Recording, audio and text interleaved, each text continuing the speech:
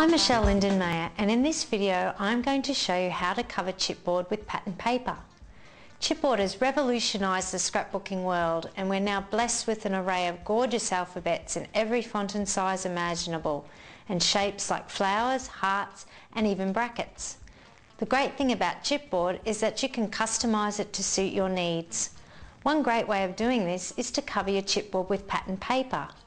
This is one way of making sure that your page is totally coordinated.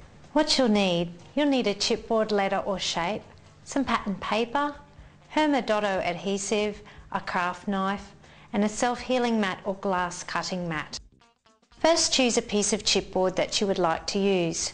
Today I'm going to be using an alphabet letter. Now select your pattern paper and turn it over so that the pattern you would like to use is face down. Then take a piece of chipboard and apply some adhesive to the top or right side of the chipboard.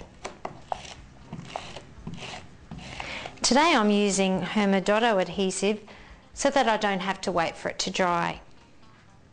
Now take your chipboard and stick it down onto the pattern paper. If it's a letter, it should appear back to front. You can now take your chipboard and pattern paper and place it onto your cutting mat with the chipboard facing up. Today I'm going to be using a glass cutting mat as it helps the craft knife to cut more smoothly. Take a craft knife and carefully cut around your piece of chipboard, staying as close to the chipboard as possible.